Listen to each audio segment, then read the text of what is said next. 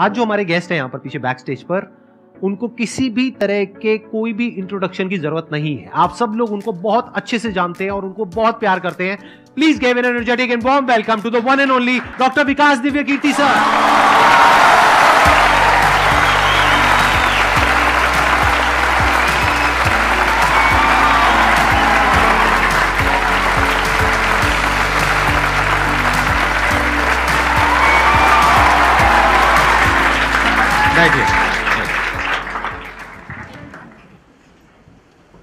मैं सबसे पहले आपको धन्यवाद देना चाहता हूँ धन्यवाद आने के लिए। थैंक यू सो मच क्योंकि जब से मैंने सीरीज़ शुरू करी है तब से हमारे कमेंट सेक्शन में कोई भी एक भी ऐसा वीडियो नहीं है जहाँ पर आपका नाम ना लिखा हो। कई बार मुझे ऐसा लगता है देख करके कमेंट सेक्शन को कि ये मैं अपने चैनल पे आया हूँ आपके चैनल पे मैं सोशल मीडिया पे बहुत कम एक्टिव रहता हूँ तो मुझे आइडिया नहीं था इस बात का। पर मैं थैंकफुल हूँ कि आपने बुलाया इस लायक समझा कि मैं यहाँ पर आऊँ। सर प्यार बहुत करते हैं बच्चे आपको। मतलब इतना प्यार है जिसकी कोई हद नहीं है। मैं ठीक कह रहा हूँ गलत कह रहा हूँ? यस नो सो अब आप लोग जो चाहे जैसे चाहे इनसे क्वेश्चंस पूछ सकते हैं। सर लाइफ में जब भी कोई सिचुएशन आती है कि जिसमें दो रास्ते एक प्रैक्टिकल और एक इमोशनल तो बैलेंस आउट कैसे करना है? इमोशनल और प्रैक्टिकल में हमेशा विरोध नहीं होता है। कभी कभी साथ भी चल सकता है। और सिर्फ़ इमोशनल कुछ नहीं होता, सिर्फ़ प्रैक्टिकल कुछ नहीं होता। प्रपोर्शन का डिफरेंस होता है। जब इमोशंस आपके दिमाग पर बहुत हावी हों तो फैसला करने से बचना चाहिए। स्पेशली बड़ा फैसला। छोटा तो ठीक है कि आपके दोस्त ने कहा कि, दोस्त नहीं एक फ़िल्म देखेगा मेरे साथ। आप इमोशनल हो जाके देख ली फ़िल्म क्या हो गया? कोई नुकसान नहीं होगा पर कोई ये कहे कि, तुम तो मुझसे प्यार नहीं करते? शादी नहीं कर सकते मुझसे। और हमने शादी कर ली। ये ठीक नहीं सिर्फ़ इमोशंस में आके बहुत बड़ा फैसला मत कीजिएगा, चाहे वो करियर का हो, चाहे पार्टनर का हो, चाहे कोई भी फैसला हो।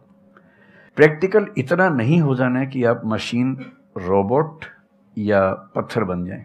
क्योंकि आप कितने भी सक्सेसफुल हो, यदि आप इमोशनली सक्सेसफुल नहीं है इमोशनली स्टेबल नहीं है इमोशनली वेल बीइंग के स्टेट में नहीं है तो आपकी सक्सेस किसी काम की नहीं है। एकदम मीनिंगलेस है। So the success in totality needs emotional happiness emotional stability as well इसलिए इमोशंस को खारिज करके जिएँगे तो शायद कुछ अचीवमेंट्स बड़ी हो जाएँ, पर वो किसी काम की नहीं है। केवल इमोशंस पे चलेंगे तो हो सकता है कि अचीवमेंट ज़िंदगी में ज़्यादा हो ना पाए। तो बैलेंस की बात है। और सबसे अच्छा तरीका है, जब बहुत इमोशंस हो इंटेंसिटी बहुत ज़्यादा हो, सिर्फ़ एक तरीका मैं जो अपनाता हूँ, उस क्षण में फैसला नहीं करना है। कुछ भी हो, कोई कितना भी प्रेशराइज करे सिर्फ़ इतना बोलिए कि मैं 24 घंटे बाद बताऊँगा आपको, थोड़ा सोचूँगा इस बारे में। और यदि आपने उस मोमेंट से खुद को बाहर निकाल लिया तो फिर आप डिटैच होकर देख पाएँगे और थोड़ा सा प्रैक्टिकल एलिमेंट भी रहे, इमोशनल एलिमेंट भी रहे, वो फैसले सबसे अच्छे रहेंगे लाइफ के लिए। मैं आपको एग्ज़ाम्पल से बात समझाता हूँ। ऐसे लोग जो तैयारी कर रहे थे, अफेयर में थे, एक का सिलेक्शन हो गया। अब उसके सामने क्राइसिस ये है, स्पेशली किसी लड़की का हो गया, लड़के का नहीं हुआ। अब हमारी सोसाइटी में ना, लड़की ऊँचे पद पे हो, लड़का ना सफल हुआ हो तो बड़ा मुश्किल है सोसाइटी में। उनको शायद दिक्कत नहीं है। अब वो लड़की प्रैक्टिकल नहीं है कि मैं तुमसे शादी करूँ, ये कह के अगर हट जाती है और शादी करती है किसी ऐसे व्यक्ति से जो बहुत सफल है। I know many such people personally मैं नाम नहीं बोल सकता किसी का। मैंने जनरली पाया है कि वो लोग लाइफ में बहुत फ्रस्ट्रेशन में रहे बाद में, क्योंकि सफलता के नाम पर प्रैक्टिकल होने के नाम पे ऐसे व्यक्ति को चुना जिसके साथ वो रह नहीं सकते ठीक से। और मैं ऐसे कई लोगों को जानता हूँ जो आई बने आईपीएस बने, जिनको करोड़ों रुपए के दहेज के ऑफर्स आए।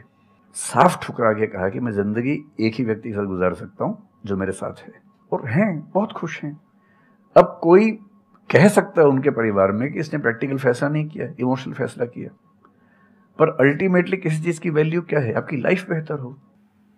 यूट्यूब पे जिसके एक लाख भी सब्सक्राइबर्स होते हैं, वो मोनेटाइज करता है। एक लाख क्या? जब मिनिमम हो सकता है। खूब पैसा कमाते हैं ब्रांड प्रमोशन करते हैं, साबुन तेल बेचते हैं बीच बीच में। आपका चैनल तो शायद देश में सबसे बड़ा चैनल है। आप चाहें तो कितना नहीं कमा लेंगे। मुझे कुछ दिन पहले एक एजेंसी के लोग मिले, जिन्होंने बताया कि इनकी जैसी ख्याति है, उस लेवल पर महीने में कोई पाँच दस करोड़ भी कमाना चाहे तो कमा सकता है आराम से, इस यूट्यूब चैनल से। तो मैंने पूछा कि वो कौन सी चीज़ है जो आपको इतना मज़बूत बनाती है कि आप नहीं इस रास्ते पर जाते? मैं वो जानने में इंटरेस्टेड हूँ। तो दस मिनट की बात के बाद मैं समझ में आ गया, क्योंकि अल्टीमेटली अगर मैं अपनी अपनी वैल्यू के खिलाफ चला गया तो खुश कैसे हो जाऊँगा? पैसा मुझे कैसे खुशी देगा? जब मैं जब मैं मैं ही नहीं रहा तो खुशी किस बात की? इसलिए इतना प्रैक्टिकल मत होना कि अपनी माँ के, पिता के, भाई, बहन, दोस्त, जो प्रेमी प्रेमिका है, उनके इमोशंस के साथ खेलने लगो। इतना प्रैक्टिकल कभी मत होना। इतना इमोशनल मत होना कोई आपको बेवकूफ़ बना सके। बात बात पर बेवकूफ़ बनाता रहे। और बैलेंस ज़िंदगी जो है ना, वो मध्य मार्ग में है। ज़िंदगी एक्सट्रीम पे नहीं है, मध्य में है। तो प्रैक्टिकल और इमोशन का बैलेंस रखिए लाइफ बढ़िया होगी।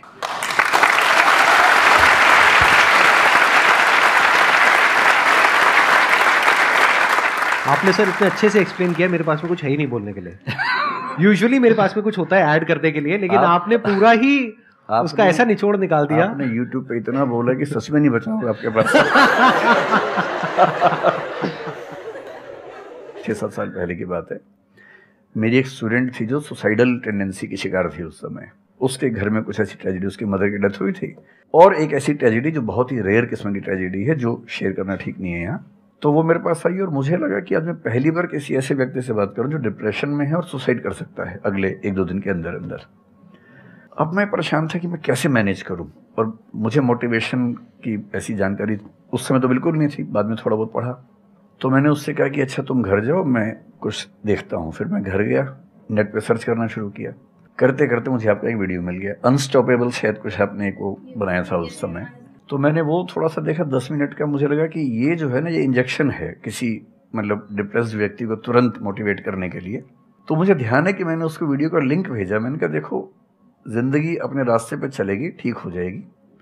जब जब मूड ऐसा हो, बहुत डिप्रेसिंग हो सुसाइडल मन करे उस समय वीडियो देखना ध्यान से और कम से कम उस बुरे फ़ेज़ से बाहर निकल जाओगी। और फिर मैंने वो वीडियो अपने फैमिली में भी दो तीन बच्चों को भेजा जो जो बच्चे उस क्राइसिस में होते थे। तो मैं बहुत थैंकफुल हूँ उन सब बच्चों की जान बचाने में क्या आपकी बात कर बड़ी भूमिका है। Thank you so much sir it means a lot to me ये तो आपने बहुत बड़ी बात कह दी सर। मेरे लिए बहुत बड़ी बात है नहीं नहीं नहीं कई हाँ। कई बच्चों की जान बचाई होगी आपने ज़रूर जो वो एक मोमेंट होता है। उस मोमेंट में कोई बचा ले तो लोग बच जाते हैं। वो मोमेंट क्रॉस हो जाए तो फिर चीज़ें बिगड़ जाती हैं। हेलो सर नमस्ते। नमस्ते। सर बोथ ऑफ़ यू मैं हमेशा से आप दोनों की बहुत फ़ैन रही हूँ। मुझे बस ऐसा लग रहा है कि मैं सपना देख रही हूँ मेरे लिए रियलिटी नहीं है। मुझे बस आपसे ये जानना है, मैं हर मतलब एवरी डे एट से टेन आवर में पढ़ाई करती हूँ। बट मुझे कभी कभी बहुत डिमोटिवेशन आ जाता है कि होगा नहीं होगा क्या होगा पता नहीं। देखिए डिमोटिवेशन अगर आपको दिन भर में एक घंटे आता है। नहीं सर ऑलमोस्ट टाइम पढ़ाई करने के बाद दो तीन चार दिन के बाद ही होता है हाँ, कंटिन्यूसली अगर अगर, अगर महीने में चार पाँच बार आता है और एक एक दिन के लिए आता है तो इसका मतलब आप एकदम ठीक हैं। अगर कोई व्यक्ति आपको ये कहे कि मुझे डिमोटिवेशन कभी नहीं होता तो उसको इलाज की ज़रूरत है। आपको ज़रूरत नहीं है। क्योंकि जब आप अपने से बेहतर व्यक्ति को देखेंगे आपको थोड़ा सा इन्फीरियोरिटी कॉम्प्लेक्स आएगा डिमोटिवेशन आएगा। जब आप अपने से कमज़ोर को देखेंगे, आपको सुपीरियरिटी कॉम्प्लेक्स आएगा थोड़ा सा मोटिवेशन ज़्यादा हो जाएगा। जिस दिन टारगेट पूरा हो जाएगा मोटिवेशन आ जाएगा। जिस दिन टारगेट पूरा नहीं होगा डिमोटिवेशन आएगा। जिस दिन टेस्ट में आपके मार्क्स अच्छे आएँगे, आप मोटिवेशन के साथ लौटेंगे। जिस दिन खराब आएँगे डिमोटिवेशन होगा। लेकिन ध्यान रखिए, जिस दिन आप मोटिवेटेड हैं, उस दिन आप वजह बन गए कईयों के डिमोटिवेशन की। लगातार मोटिवेटेड होना एक मेंटल इलनेस की निशानी है और लगातार डीमोटिवेटेड होना डिप्रेशन की निशानी इन दोनों से बचना है। तो डीमोटिवेशन की बहुत हाइप है इतनी हाइप की ज़रूरत नहीं है। थोड़ा बहुत हो एंजॉय कीजिए उसको। और जब जब लगे कि ज़िंदगी बहुत ख़राब चल रही है तो मैं जो करता हूँ अजीब सा लगेगा आपको मैं कभी कभी शमशान घाट चला जाता हूँ। सच कह रहा हूँ, मजाक- वीडियोस में भी कहा है। सच में चला जाता हूँ या ट्रॉमा सेंटर चला जाता हूँ देखने के लिए। ट्रॉमा सेंटर में जाके एक घंटा बैठ के आ जाइए, मोटिवेशन आ जाएगा। और शमशान घाट में जाके देख लीजिए कि हम जैसे हमसे कम उम्र के लोग वहाँ जल रहे होते हैं तो लगता है हम ज़िंदा तो हैं। अगर मैं थोड़ा सा कॉग्निटिव लेवल पर बात करूँ, एक बहुत बड़ा साइकोलॉजिस्ट हुआ, उसका नाम है ब्रेंटानो कभी सर्च कीजिएगा उसको। ब्रेंटानो ने ह्यूमन कॉन्शियसनेस को स्टडी किया। और उसने ये बताया कि ह्यूमन कॉन्शियसनेस की बेसिक नेचर है कि जो हमारे पास है, वो हमें नज़र नहीं आता। जो नहीं है, वो नज़र आता है। तो the consciousness of lacking something is the nature of human consciousness इसलिए इसी बात को एक शेर में, बहुत प्रसिद्ध शेर में कहा गया है। दुनिया जिसे कहते हैं, जादू का खिलौना है। मिल गया सो मिट्टी है, नहीं मिला वो सोना है। तो जो तो जो आपको नहीं मिलेगा ना, हमेशा बड़ा होकर दिखेगा। जो मिलेगा छोटा हो जाएगा। तो ईमानदारी इसमें है कि जब जब डिमोटिवेशन और डिप्रेशन हो एक कागज़ लेके बैठ जाइए और एक तरफ़ लिखिए मेरी ज़िंदगी में ऐसा क्या क्या है जो दूसरों के पास नहीं है। पेज भर जाएगा पूरा। तो जो है उस पर ध्यान दीजिए और एंजॉय कीजिए।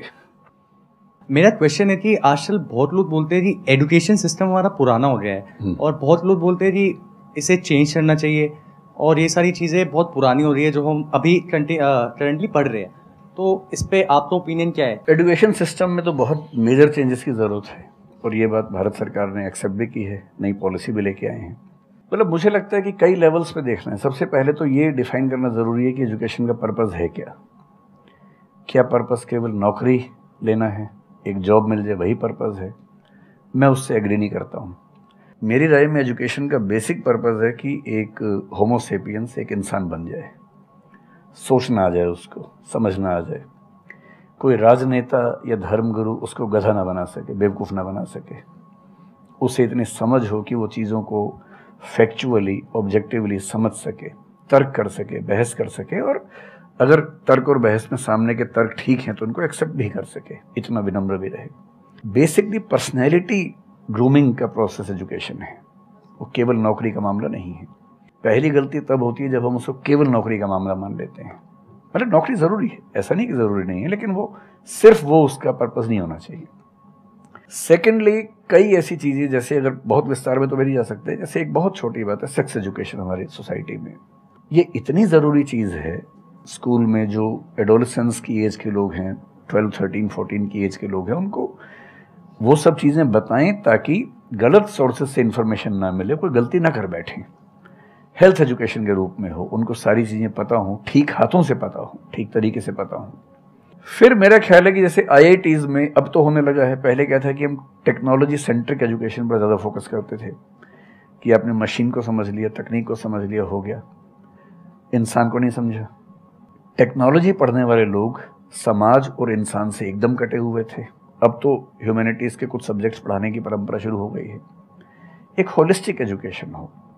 ह्यूमैनिटीज़ वाला बच्चा केवल हिस्ट्री पॉलिटिकल साइंस सोशोलॉजी पढ़ता है, उसको कोडिंग का सी भी नहीं आता टेक्नोलॉजी बिल्कुल नहीं आती उसको उसको एम एस एक्सेल भी नहीं पता क्या होता है। टेक्नोलॉजी वाला सिर्फ़ टेक्नोलॉजी पढ़ता है, वो ह्यूमन ब्रेन को नहीं पढ़ना चाह रहा सोसाइटी को नहीं पढ़ना चाह रहा। क्यों नहीं एक ऐसी शिक्षा हो जिसमें एक इंटीग्रेटेड अप्रोच हो होलिस्टिक अप्रोच हो कि हम खुद तय कर सके कि किस किस एरिया में हमें ज़्यादा जाना है और एक बेसिक अंडरस्टैंडिंग हर चीज़ की हो। तो बेसिक तीन फार्मूले माने जाते हैं। एक यूनिवर्सलाइजेशन ऑफ़ प्राइमरी एजुकेशन है कि दसवीं क्लास तक की शिक्षा हर बच्चे को मिले, ठीक से मिले। वोकेशनलाइजेशन ऑफ़ सेकेंडरी एजुकेशन यानी ग्यारहवीं, बारहवीं की पढ़ाई का पर्पज़ है कि बच्चा ये समझ पाए कि उसको ज़िंदगी में आगे कहाँ जाना है। और फिर जो हायर एजुकेशन है, वो सबको करने की ज़रूरत नहीं होनी चाहिए। वो शौक पूरा करने के लिए नहीं है। वो शादी का वेटिंग रूम नहीं है। वो उसके लिए है जिसको सच में आगे पढ़ना है। वो उतना पढ़े सब्जेक्ट चूज़ करे और फिर उसमें गहराई से रिसर्च करे ताकि डेवलपमेंट के रास्ते पर अब बढ़ें। हम एजुकेशन के मामले में बहुत बुरी स्थिति में हैं। मैं तो जिस उम्र में हूँ, मेरा अब तो पर्पज़ भी ये बन गया है कि अब मैं उसी पे कुछ काम करूँ। एक यूनिवर्सिटी शुरू करने की योजना मेरे मन में है, इनसे मैंने शेयर भी किया था। और मैं जिस तरह का विश्वविद्यालय सोचता हूँ, वो नौकरी देने के पीछे पागल नहीं होगा। वो होमोसेपियन सेपियंस को कायदे का इंसान बनाने की कोशिश करेगा। नौकरी तो उसका एक पार्ट है। मतलब आप जितने भी सफल लोगों को देखेंगे जनरली जैसे मैंने इन्हीं से पूछा, ये जिस फ़ील्ड में सफल हैं, इनका जो करियर है, अगर मैं इसको छोड़ भी दूँ तो अदरवाइज़ भी जो इनका करियर है, वो उस विषय से जुड़ा हुआ नहीं है जो इन्होंने पढ़ा है ग्रेजुएशन में। मेरा भी नहीं है, आमतौर पर किसी का भी नहीं है। नाइन्टी परसेंट लोगों को मैं देखता हूँ जो सक्सेसफुल हैं, उनके ग्रेजुएशन के सब्जेक्ट में और लाइफ की फ़ील्ड में कोई लिंक नहीं है। तो बेसिक पर्पस क्या है? वो स्मार्टनेस बाहर आ जाए ग्रूमिंग हो जाए इंटेलिजेंस है इमोशनल इंटेलिजेंस है, वो सब जो टूल्स हैं, वो उस बच्चे को सीखने को मिल जाए ताकि फिर वो ज़िंदगी को फेस कर सके इनोवेट कर सके, नए रास्ते निकाल सके। हज़ार रास्ते दुनिया में होते हैं। तो सच बात है कि काफ़ी चेंजेस की ज़रूरत है और आप और हम मिलकर करेंगे चेंजेस एजुकेशन वाइज अगर देखा जाए तो मैंने बहुत ज़्यादा कुछ नहीं किया है अपनी लाइफ में। बट मेरे स्टैंड पॉइंट से अगर आप देखोगे कि एजुकेशन क्या है तो एजुकेशन का सबसे बड़ा गोल ये है कि एक इंसान का दिमाग खुले। बजाय कि उसका दिमाग इतना नैरो डाउन हो जाए कि उसको लगे कि बस यही अगर हो गया तो सक्सेस है, ये नहीं हुआ तो फेलियर है। आप अनगिनत तरीकों से अपने गोल को, अपने पर्पस को, या जो भी आप करना चाहते हो, उसको अचीव कर सकते हो। एजुकेशन का सबसे बड़ा गोल ये होना चाहिए, और वही मेरी कोशिश है अपने इन सेशंस के थ्रू करने की, कि एक इंसान का दिमाग खुल जाए। उसके दिमाग में एक पॉसिबिलिटी माइंडसेट आ जाए। ना कि एक लिमिटेड माइंडसेट हो, कि बस ये हो गया तो बहुत है। अब प्रॉब्लम क्या है? ये जो लिमिटेड माइंडसेट है, ये बहुत लोगों का है। करोड़ों लोगों का है तो वहाँ पे कंपटीशन भी बहुत है। पॉसिबिलिटी माइंडसेट जबकि देखा जाए तो ज़्यादा इंटरेस्टिंग है, लेकिन बहुत कम लोगों का है, और वहाँ पे कंपटीशन कम है। और पॉसिबिलिटी माइंडसेट क्या होता है कि कोई भी काम अगर मैं कर रहा हूँ अगर वो नहीं हुआ तो इसका मतलब ये नहीं है कि मैं फेल हो गया। इसका मतलब ये है कि मैं क्रैक नहीं कर पाया। There has to be a way ये एजुकेशन काम अगर कर दे तो रियल एजुकेशन हो गई हमारी। मतलब एक इंसान को हाँ सॉरी थॉमस एडिसन बल्ब के आविष्कार में लगा हुआ था हाँ जी। हज़ार बार फेल हुआ। हम्म। तो किसी ने उससे पूछा कि यार तुम बार बार करते होता तो है नहीं तुमसे। क्यों कर रहे हो? तो उसने पता है क्या कहा? हर फेलियर के बाद मैं ये जानता हूँ कि बल्ब इस तरीके से भी नहीं बन सकता। और अब मैं हज़ार तरीके जानता हूँ कि इन तरीकों से नहीं बनेगा। और उसके बाद वो तरीका ईजाद हुआ जिससे बना। एजुकेशन से एक इंसान का दिमाग इतना खुल जाए कि सबसे पहली चीज़ तो उसको ये समझ आए कि मैं कुछ भी नहीं जानता हूँ। हाँ एकदम ठीक बात है। एजुकेशन मस्ट बी सच कि वो लाइफ लॉन्ग आपका एक क्वेश्चनिंग माइंड बना ही रहे। हाँ। कि आप कहीं भी हो कुछ भी कर रहे हो आपके दिमाग में क्वेश्चंस चले। Questions related to the problems जो भी आप काम कर रहे हो वो क्या है? अल्टीमेटली प्रॉब्लम सॉल्विंग है। तभी उस काम में वैल्यू है। अगर किसी की कोई प्रॉब्लम ही नहीं सॉल्व कर रहे हो तो उसमें वैल्यू कहाँ ऐड हो रही है? और वैल्यू नहीं ऐड होगी तो आपको पैसा कैसे मिलेगा? फिर चाहे जॉब हो चाहे बिज़नेस हो। सो द आइडिया इज़ कि आपका दिमाग ये चलना चाहिए अच्छा ये प्रॉब्लम है ना। पहले तो मुझे नहीं पता है कि इसको सॉल्व कैसे करना है। क्योंकि अगर आपको पहले से ही पता है तो आपको वही पता है जिस तरह से वो प्रॉब्लम सॉल्व होती आई है। That may not be relevant in today's context but still आप उसको उसी तरह से सॉल्व करोगे। जिस तरह से सब कर रहे हैं, वहाँ पर कॉम्पिटिशन है। फिर आप कहोगे कि कुछ हो नहीं रहा है। सो द आइडिया इज़ कि पहले तो ये प्रॉब्लम है, जो मुझे अच्छे से समझ आई, मैंने इस पर फोकस किया। अब इसको सॉल्व करने के इन्फिनिट तरीके हैं। एक रास्ता नहीं है, बहुत सारे रास्ते हैं। मुझे पता नहीं है। This is the goal of education कि मुझे नहीं पता है। लेकिन पता किया जा सकता है। This is another goal of education उसमें से कुछ तरीके काम करते हैं कुछ नहीं करते हैं। यह भी हमको क्लियरली पता होना चाहिए। मतलब job personality must be dynamic it must not be static जैसे मैंने देखा है बहुत लोगों को जो मुझे मिलते हैं कुछ लोग हैं उसमें से जो जैसे मैं सर से मिला अभी ऑफ़ कैमरा हम लोग बैठे हुए थे डिस्कशन कर रहे थे तो it was a great experience sir आपके साथ में बैठ करके जिस तरह से जिस ठहराव से सर बात कर रहे थे जिस तरह से चीज़ों को सुन रहे थे, समझ रहे थे और मैं क्वेश्चन पूछ रहा था, ये मेरे से क्वेश्चन पूछ रहे थे। तो there was a conversation which was going on on the other hand there are some people जिनसे मैं कभी कहीं मिला तो उनकी अप्रोच क्या है कि मुझे सब पता है। वो गड़बड़ हो जाती है। शिक्षा की दुनिया में बहुत प्रसिद्ध कहावत है, भारतीय अगर परंपरा में देखें तो विद्या ददाती विनय में एक बहुत प्रसिद्ध कथन है। अगर कोई पढ़ा लिखा आदमी अपने ज्ञान की वजह से अहंकार करे तो मान लीजिए कि वो पढ़ा लिखा नहीं है। पढ़ाई उसके दिमाग पर हावी हो गई है। अभी उसको अंदाज़ा नहीं है कि कुल संसार के ज्ञान में उसकी हिस्सेदारी डेसिमल में भी नहीं है। और जिसको ये पता है कि मेरा ज्ञान बहुत कम है, वो विनम्र ही रहेगा। और इसलिए जो बड़े प्रोफेसर्स हैं, अगर आप कभी सुनेंगे, मैं जानता हूँ, मैं यूनिवर्सिटी में जब पढ़ता था, सबसे बड़े प्रोफेसर क्या बोलते थे कि मैं इस विषय का विद्यार्थी हूँ। कभी नहीं बोलते थे कि मैं प्रोफेसर हूँ। इतना साहस किसी में कैसे कि मैं प्रोफेसर हूँ? अरे आप ज़िंदगी भर स्टूडेंट बने रहेंगे तो ही काफ़ी है। उससे बड़ी बात तो सोचने भी नहीं चाहिए। बहुत बड़ी बात कही।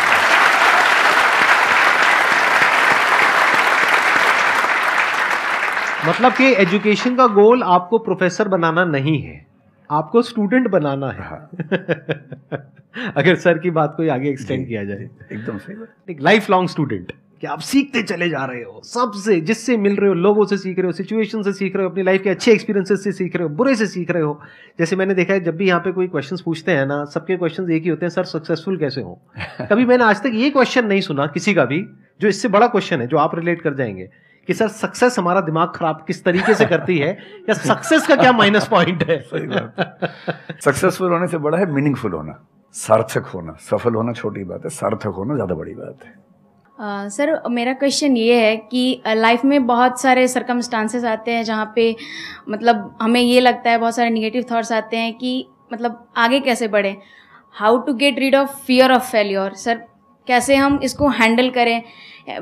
अगर हम कोई किसी चीज़ को शुरू करना चाहते हैं सर तो हमारे दिमाग में बहुत सारे निगेटिव थाट्स चलते रहते हैं। हो पाएगा नहीं हो पाएगा? बहुत तरह के नेगेटिव uh, क्वेश्चंस आते रहते हैं सर। तो इसको कैसे हैंडल करना है सर इस सिचुएशन को? फियर ऑफ़ फेलियर थोड़ा सा ठीक भी है।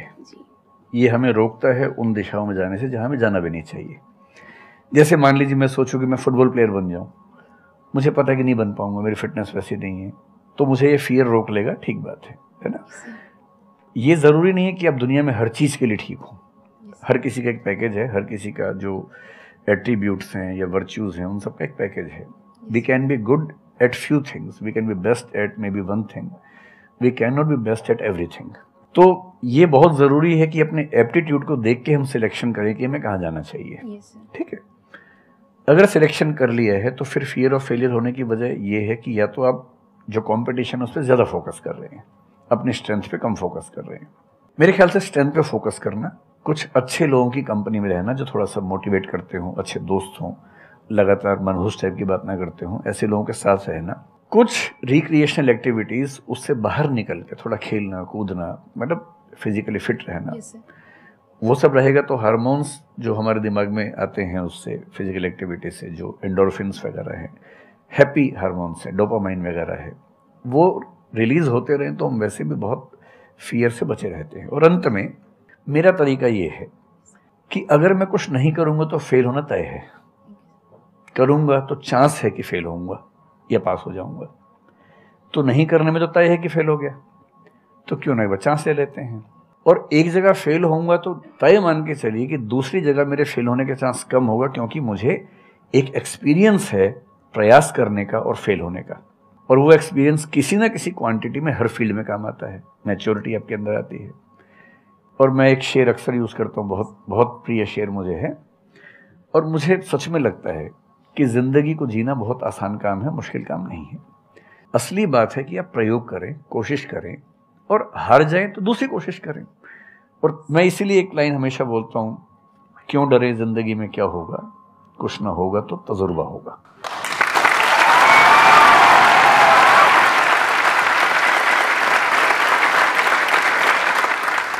मुझे भी सर के जैसे मोटिवेशनल स्पीकर बनना है, सर। पर मैं ये सोचती हूँ कि अगर मैं वीडियो बनाऊँगी कंटेंट बनाऊँगी तो सदीप सर को छोड़ के या फिर बहुत बड़े बड़े मोटिवेशनल स्पीकर्स हैं, उनको छोड़ के मुझे देखेगा कौन? मतलब ये मेरे अंदर थॉट्स आते हैं कि अभी मेरा मतलब मैं नाइनटीन ईयर की हूँ तो मैं जब वीडियो कंटेंट बनाऊँगी तो मैं कुछ मुझे ऐसा मतलब मेरे अंदर ये थॉट है कि मैं कोई मैं कोई बड़ी बड़ा आदमी नहीं हूँ या फिर कुछ बड़ा नहीं हूँ तो मैं ये वीडियो कैसे डाल सकती हूँ? लोग क्या सोचेंगे कि मतलब तू ये तो खुद कुछ नहीं है और लोगों को मोटिवेट कर मोटिवेट कर रहा है ऐसा मेरे अंदर थॉट आता है। पहले या तो कुछ कर लीजिए ज़िंदगी में उसके बाद मोटिवेट कर लीजिए। और नहीं तो मोटिवेशन एक पूरी साइंस है साइकोलॉजी से जुड़ी साइंस है। उसको ठीक से पढ़ के रिसर्च करके उससे बात कीजिए। शुरू में तो जब इन्होंने भी शुरू किया होगा कहाँ शुरू में लोग जानते होंगे? बड़ी लंबी स्ट्रगल होती है। किसी भी फ़ील्ड में इतनी लंबी स्ट्रगल है। देखिए जो आदमी सफल है ना आप ये जो हमारा वर्तमान है ये ऐसे ही नहीं बन गया है। हर सफल आदमी का एक बहुत लंबा अतीत होता है जिस पर नज़र किसी की नहीं होती है। और बशीर बद्र ने एक बड़ी गहरी बात कही थी ये फूल मुझे कोई विरासत में मिले हैं तुमने मेरा कांटों भरा बिस्तर नहीं देखा।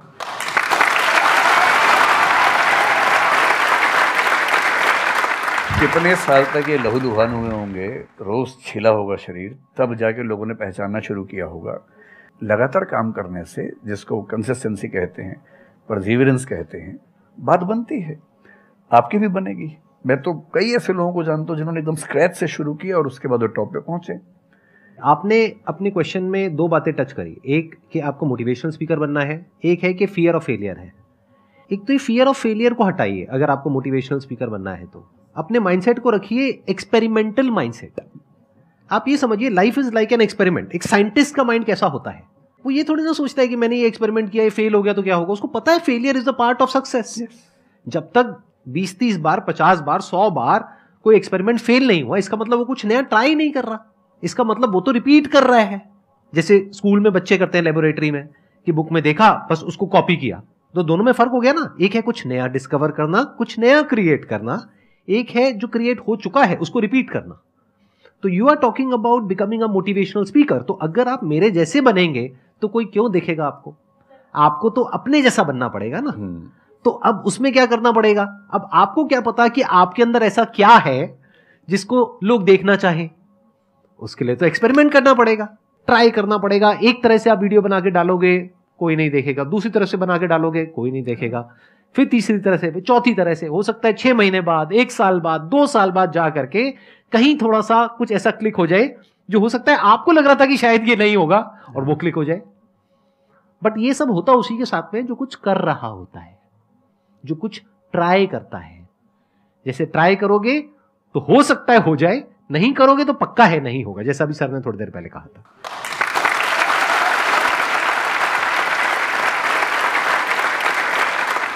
Thank you so much sir यहाँ पर आने के लिए।